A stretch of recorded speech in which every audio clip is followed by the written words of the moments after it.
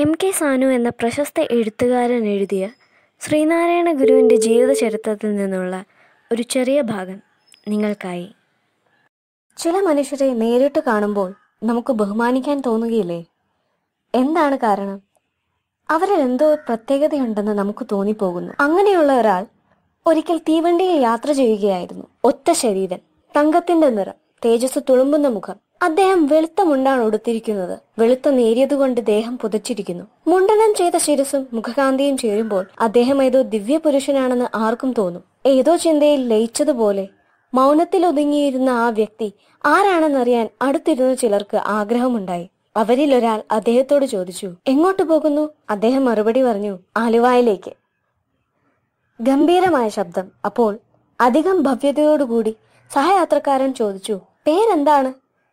നാരായണൻ ഇത്രയും അറിഞ്ഞതുകൊണ്ട് മാത്രം അടുത്തിരുന്നവർക്ക് തൃപ്തിയായില്ല. ഒരു ചോദ്യം കൂടി അവരിൽ ഒരാൾ ചോദിച്ചു. ജാതിയിൽ ആരാണ്? ആ ചോദ്യം കേട്ടപ്പോൾ ആ ദിവ്യ പുരുഷൻ ശിരസുയർത്തി എല്ലാവരെയും നോക്കി. എന്നിട്ടൊരു ചോദ്യം തിരികെ ചോദിച്ചു. കണ്ടിട്ട് മനസ്സിലായില്ലേ? അടുത്തിരുന്നവർ പറഞ്ഞു ഇല്ല മനസ്സിലായില്ല. കണ്ടതുകൊണ്ട് മാത്രം ജാതി ഏതെന്ന് മനസ്സിലാക്കാൻ കഴിയില്ലല്ലോ.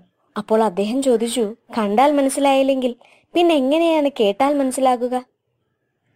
മുഴങ്ങുന്ന ശബ്ദത്തിലുള്ള ആ ചോദ്യം കേട്ടപ്പോൾ എല്ലാവരും നിശബ്ദരായി. അതിനെന്താണ് ഉത്തരം പറയേണ്ടതെന്ന് അവർക്ക് നിശ്ചയമില്ലായിരുന്നു. തേജസ്വിയായ അദ്ദേഹം ആലുവായിലിറങ്ങി. അദ്ദേഹത്തെ കാത്ത് അനേകം പേർ അവിടെ നിൽക്കുന്നുണ്ടായിരുന്നു. അവർ ഭക്തിയോടെ വണങ്ങി അദ്ദേഹത്തെ സ്വാഗതം ചെയ്തു. അദ്ദേഹത്തോടൊപ്പം യാത്ര ചെയ്തിരുന്നവർക്ക് അപ്പോഴാണ് ആൾ ആരാണെന്ന് മനസ്സിലായത്. നാരായണ ഗുരു ആയിരുന്നു അദ്ദേഹം. കണ്ടിട്ട് മനസ്സിലായില്ലേ?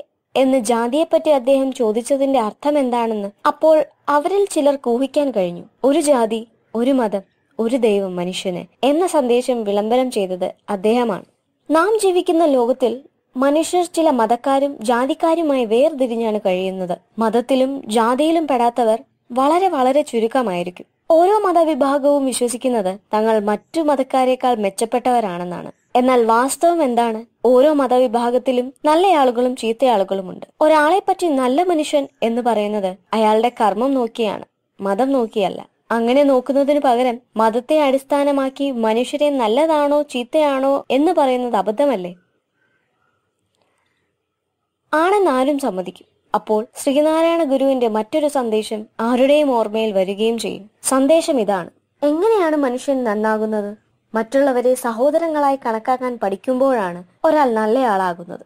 അപ്പോൾ മറ്റുള്ളവർക്ക് ഉപകാരം ചെയ്യാനും അവരെ സഹായിക്കാനും അയാൾ സന്നദ്ധനാകും. ഈ സന്നദ്ധത അയാളെ സേവനത്തിനോ ത്യാഗത്തിനോ പ്രേരിപ്പിക്കും.